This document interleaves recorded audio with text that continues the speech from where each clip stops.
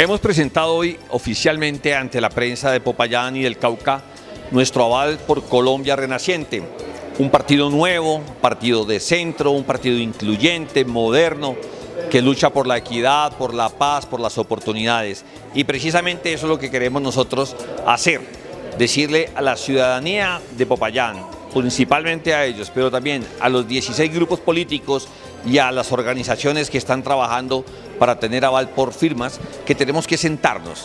Así tengamos candidaturas en distintas orillas, queremos tener unos acuerdos para luchar por Popayán, para construirle respuestas y soluciones a los problemas más grandes y graves que tiene esta ciudad, el desempleo, el tema de la movilidad, la ausencia de respuesta a vivienda popular, la inseguridad, la carencia de cupos para la educación, la calidad de la misma, las oportunidades para los jóvenes en recreación, en deporte, el emprendimiento con poco respaldo, en, general el tema de la salud, todo lo que significa oportunidades para una ciudad que tiene un enorme potencial para salir adelante, pero que tiene que ponerse de acuerdo, dejar atrás las polarizaciones y salir adelante. Tengo una frase, un lema que se llama creo en Popayán.